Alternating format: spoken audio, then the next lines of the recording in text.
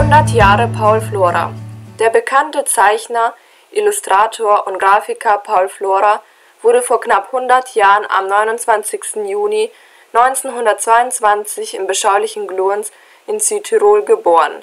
Glurns zählt mit nur 905 Einwohnern zu den kleinsten Städten in den Alpen. Glurns Der Ort im Vinschgau wurde unter anderem bekannt, weil vor 500 Jahren die lokal ansässigen Mäuse wegen verursachter Fellschäden angeklagt wurden. Diese kamen der Vorladung allerdings nicht nach und erschienen nicht bei Gericht.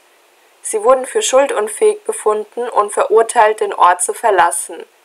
Hierbei wurde ihnen Geleitschutz gegen ihre natürlichen Feinde wie Hunde oder Katzen gewährt, zusätzlich galt eine Ausnahmeregelung für werdende Mütter. Diese bekam eine Zusatzfrist bis 14 Tage nach der Niederkunft.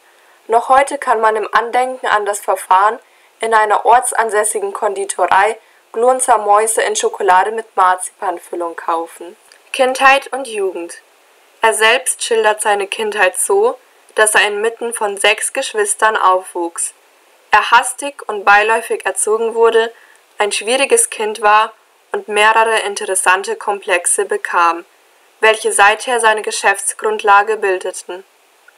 Als Paul Flora fünf Jahre alt ist, zieht die Familie nach Innsbruck um. Sein künstlerisches Talent wurde bereits früh erkannt und durch einen Zeichenlehrer gefördert.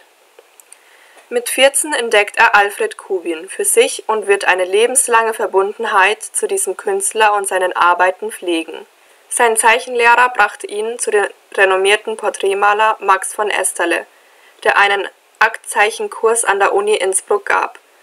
Paul Flora war damals noch junger Gymnasist und dementsprechend war seine Teilnahme eine große Affäre und bedurfte einer schriftlichen Bestätigung der Eltern. Studium und Krieg Nach dem Abitur bzw. Matura 1942 ging er nach München und wurde ohne Aufnahmeprüfung nur durch Vorlage seiner Zeichnungen an der Akademie der Bildenden Künste aufgenommen. Bei seiner Wohnungsbesichtigung sah er auf dem Tisch der potenziellen Vermieterin den Roman Die andere Seite von Alfred Kubin liegen. Nach einem kurzen Gespräch entpuppte sich diese als Cousine Kubins und Flora zog dort ein. In München war er laut eigener Aussage eher faul, ließ sich treiben und fühlte sich wie in einem Wartesaal. Er sah die Akademie kaum von innen, konnte nichts beginnen und wollte eher das Ende des Schreckens. Gemeint ist der Zweite Weltkrieg abwarten.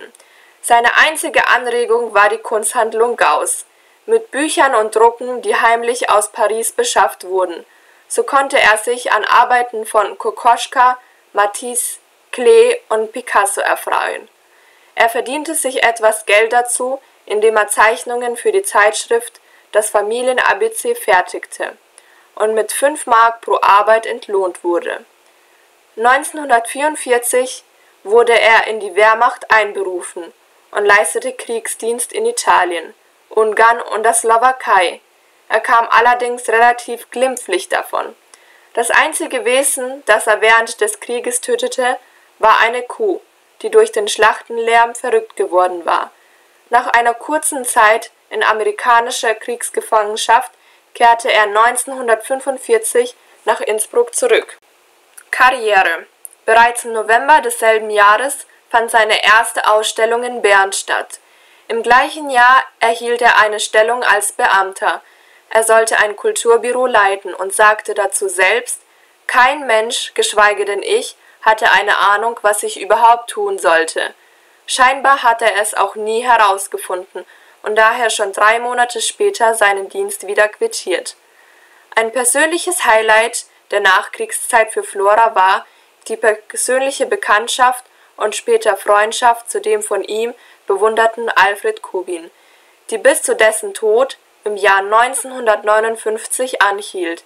Ab 1949 wird er Mitarbeiter bei der Münchener Neuen Zeitung und das sollte nur der Anfang seiner Karriere als einer der beliebtesten Zeichenkünstler im deutschsprachigen Raum werden.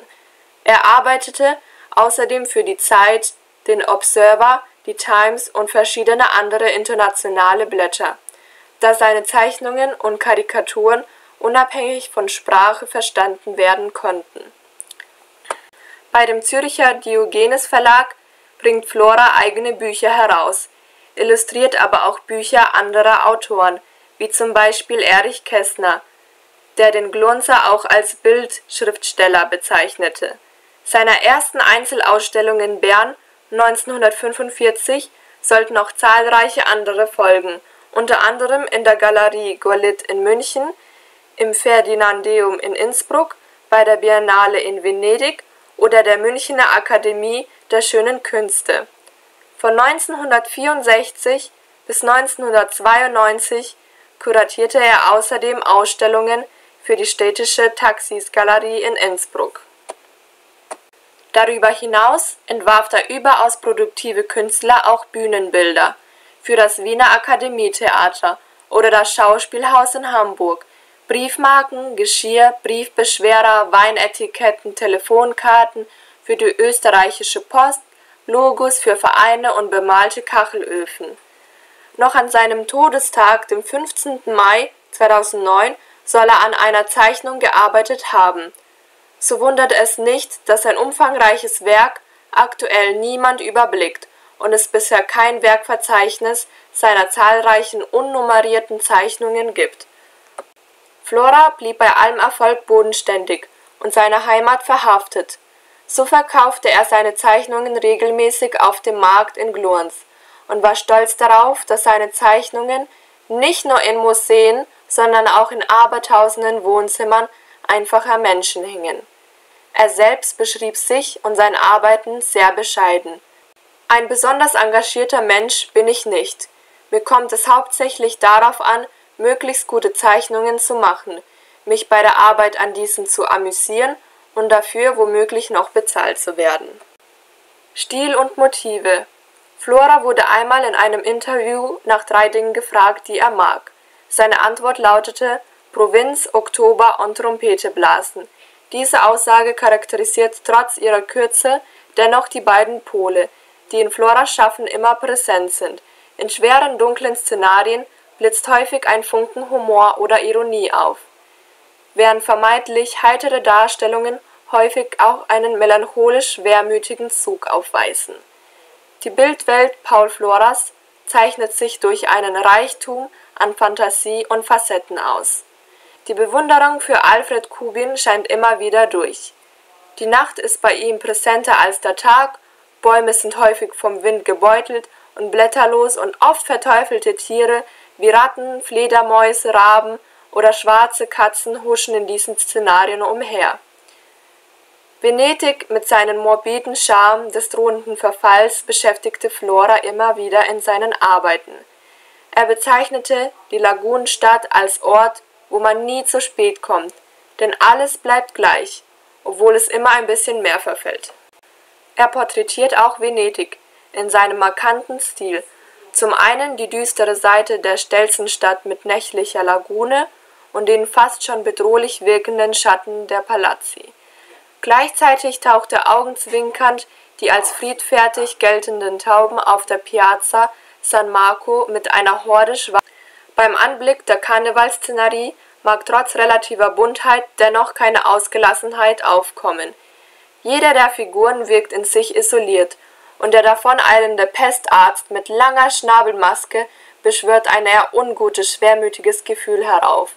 Paul Flora war trotz internationaler Bekanntheit und das bereits vor Social Media sehr mit seiner Heimat Tirol verbunden. Dennoch stand er gewissen Tiroler Eigenheiten bzw. Traditionen reserviert gegenüber. Obwohl er die Gabe des bösen Blicks auf die Welt hatte und er das oft Verlachenswerte in seinen Zeichnungen festhielt, tat er das nie mit Bösartigkeit, sondern mit subtilem Humor. Selbst der dumpfste Tiroler Schütze wird bei Flora zum Original. Ein Vogel, der in Tirol aber auch über den restlichen Erdball verbreitet ist, der Rabe, war eines der Lieblingsmotive des Künstlers.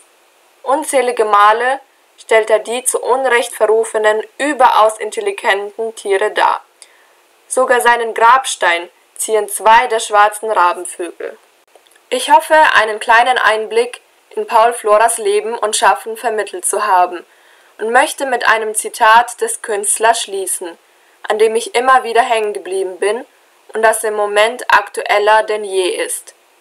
Je mehr ich mir historische Kenntnisse aneigne, desto sicherer bin ich, dass es keinen Fortschritt auf der Welt gibt und dass sich lediglich im Intervallen die Dummheiten und die Gescheitheiten letzterer leider viel seltener wiederholen